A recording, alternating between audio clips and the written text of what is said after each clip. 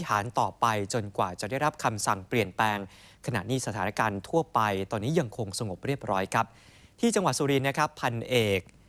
ทัดพลสุพีสุนทร ผู้บังคับการชุดเฉพาะกิจกรมทหารพรานที่ 26 กองกำลังสุรานารี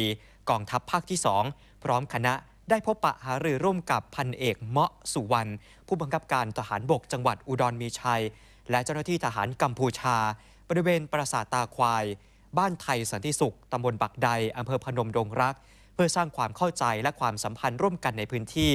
โดยหากมีปัญหาในความไม่เข้าใจต่อกัน ให้ผู้บังคับหน่วยโทรศัพท์หารือกันเป็นการเร่งด่วน และโอกาสนี้ทั้งสองฝ่ายนะครับ ได้รับประทานอาหารกลางวันร่วมกัน บรรยากาศเป็นไปด้วยรอยยิ้มและมิตรภาพ ส่วนที่จังหวัดศรีสะเกดนะครับนายประทีปเกียรติเลขา ผู้ว่าราชการจังหวัดลงพื้นที่ตรวจเยี่ยม และให้กำลังใจ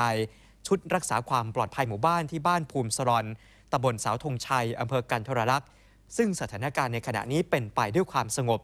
จากนั้นได้เดินทางไปที่บ้านซัมเมงตำบลเสาธงชัย ซึ่งเคยได้รับผลกระทบเมื่อปี 2554 เพื่อให้กำลังใจประชาชนและสร้างความเข้าใจว่า ขณะนี้เหตุการณ์ทุกอย่างกลับสู่สภาวะปกติ และขอให้สบายใจได้ว่าจะไม่มีเหตุการณ์รุนแรงเกิดขึ้น พลเอกประยุทธ์จันโอชาผู้บัญชาการทหารบกยืนยันว่า ประเทศไทยยังไม่ได้สูญเสียอธิปไตยตามแนวชายแดน และในส่วนของทหารยังคงรักษาอธิปไตยตามแนวชายแดนต่อไป จนกว่าจะได้รับคำสั่งการเปลี่ยนแปลง ซึ่งการเจรจาเรื่องพื้นที่ของคณะทำงาน กระทรวงการต่างประเทศ และหน่วยงานด้านความมั่นคง ที่จะต้องมีข้อตกลงร่วมกัน